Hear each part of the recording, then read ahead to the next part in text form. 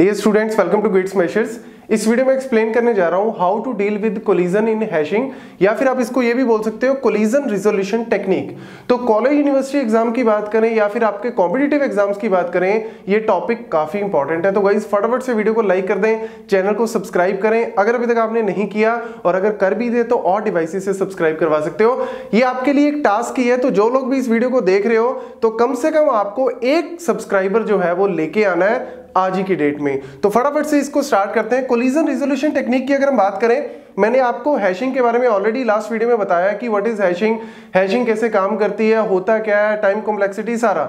लेकिन अब इसमें बड़ा इंपॉर्टेंट टॉपिक है कोलिजन से रिलेटेड कि यार जब भी कोलिजन अक्कर होगी तो उस केस में फिर हम क्या करेंगे? तो पहले हम देख लेते हैं कोलिजन होती क्या है। जैसे मैंने यहाँ पे K mod six hash function use किया। ज़ीरो से लेके फाइव तक मैंने हैश टेबल बना लिया, क्योंकि जो मेरे को मोड की वैल्यू दी होगी यहाँ पे, ज़ीरो से लेके उस वैल्यू से एक कम तक मतलब लेट से अगर मेरे को के मॉड एन दिया हुआ है तो मैं ज़ीरो से लेके एन माइनस वन का हैश टेबल बना लूँगा।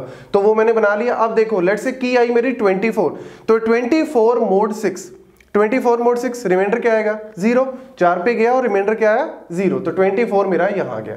देन 19 18 पे जाएगा और पीछे रिमाइंडर क्या बचेगा? वन तो लो जी।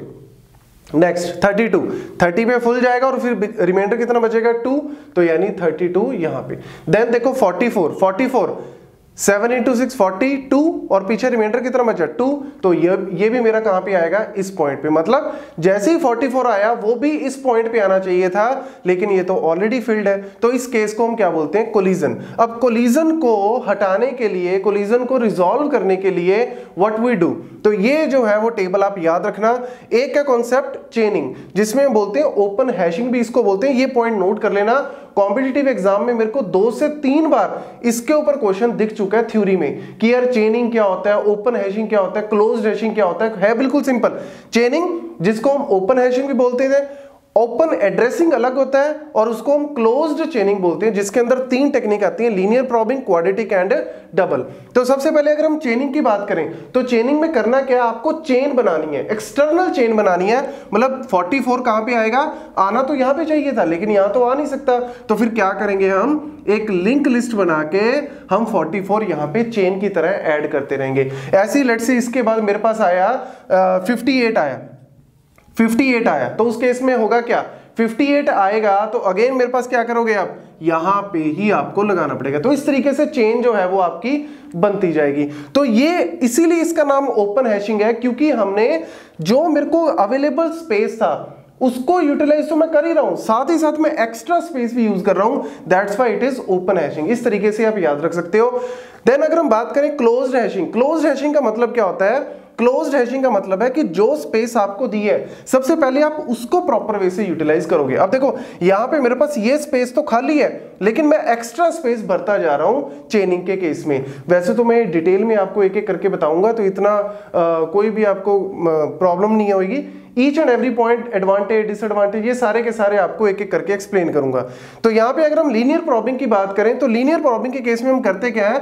नेक्स्ट अवेलेबल स्पेस में डाल देंगे। नेक्स्ट अवेलेबल स्पेस में मतलब कि 44 यहाँ आना चाहिए था नहीं आएगा तो नेक्स्ट अवेलेबल देखेंगे अगर वो खाली है तो उसमें। अगर वो भी भरा हुआ है तो उससे नेक्स्ट मतलब एक एक करके सिक्वेंशली नेक्स्ट लोकेशन देखते जाएँगे। क्वाड्रेटिक के केस में हम क्या करेंगे?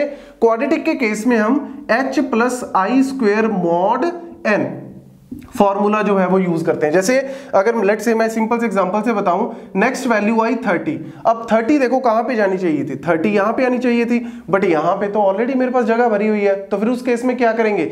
30 जैसे ही आया, वो ऑलरेडी फिल्ड है। मतलब इसकी हैश वैल्यू कितनी आई? हैश वैल्यू कितनी आई यहाँ पे? हैश वैल्यू मेरे पास आई ज़ीरो कैसे? थर्टी मोड सिक्स करोगे तो आंसर क्या बनेगा? ज़ीरो। तो हैश वैल्यू कितनी है? ज़ीरो। तो अब हम क्या करेंगे? Zero plus I square I क्या है यहाँ पे? आई होता है प्रॉब नंबर प्रॉब नंबर मतलब आपने कितनी जगह पे चेक किया, कितनी बार चेक किया? तो अभी देखो, आपने सिर्फ़ यहाँ पे चेक किया. एक बार चेक किया तो यानी वैल्यू क्या बन गई? वन तो zero plus one square mod six तो इस केस में आंसर क्या बनेगा? वन मोड सिक्स यानी वन देखो वन तो ऑलरेडी मेरे पास भरा हुआ है. तो उस केस में क्या करेंगे? फिर मेरी प्रॉब की वैल्यू वन से क्या हो गई? टू क्योंकि मैंने पहले यहाँ चेक किया, अब यहाँ पे चेक किया. तो ये भी भरा हुआ है. इस केस में फिर हम क्या करेंगे? हैश वैल्यू तो इसकी ज़ीरो ही है. वो तो फिक्स ही रहेगी. बट ये जो आई की वैल्यू वन से क्या हो गई? टू तो वन से क्या हो गई? टू तो टू का स्क्वायर क्या बना? फोर तो फोर मोड सिक्स तो फोर मोड सिक्स क्या आएगा? आंसर फोर आएगा। तो यानी आप फोर्थ लोकेशन में थर्टी को डाल दोगे। तो इस तरीके से हम जनरली जो है वो परफॉर्म करते हैं। ऐसे डबल हैशिंग की बात करें तो उसमें हम दो हैश फ़ंक्शंस का यूज़ करते हैं।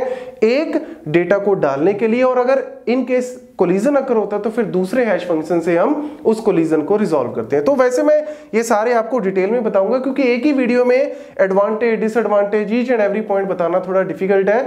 So this is all about the collision resolution technique thank you